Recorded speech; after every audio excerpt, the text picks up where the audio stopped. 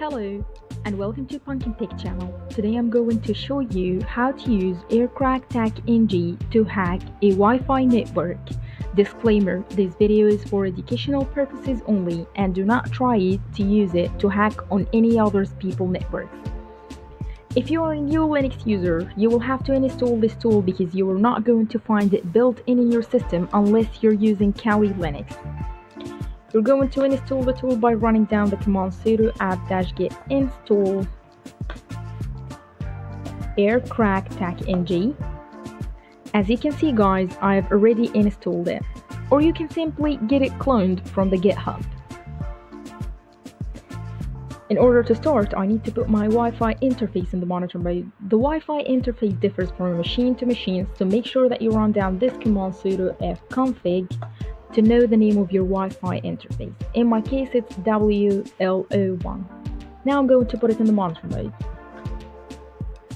sudo airmon tac ng and then the name of your Wi-Fi interface. Yeah, and start.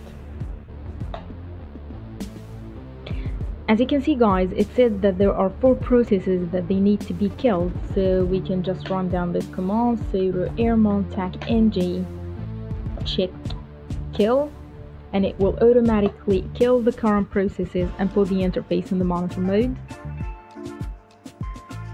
It takes less than a minute. Right now, we will run down this command again to make sure that the Wi-Fi interface in the monitor mode. As you can see guys, the name of it has been changed to WLO11 which means that it's in the monitor mode. Now we're going to run down this command sudo ng and then the name of our new Wi-Fi interface. This command is going to make our Wi-Fi interface run a quick scan to see the whole nearby networks. As you can see guys, Control C when you can find your Wi-Fi. Here I can find my Wi-Fi on channel 11 and this is the MAC address of it. Now we're going to run down this command sudo aerodom tac ng and then tag c for the channel and as you can see my Wi-Fi also on channel 11 and then TacTac PSSID and then the MAC address of my Wi-Fi. Here's the listed MAC addresses. Just copy your Wi-Fi MAC address and then tag W and then the location that you want to save the files in that it's going to be captured.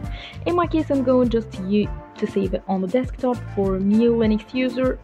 Right click open the terminal and write down the command print working directory and copy the directory that you are in currently. Here we go. And then slash and then the name of the file, I'm going to name it handshake. You can name it whatever you want. And then the interface, W L O 1 1 check as you can see right now it starts to count the user in this network and everything. In order to capture the handshake file I'm going to communicate with the router with a command called sudo air replay tac ng and then tac 0 to 10 this is the number of the packets that I'm going to send to the router in order to communicate with it to give me the handshake file, tag A, and then the MAC address of my network, which is here, okay.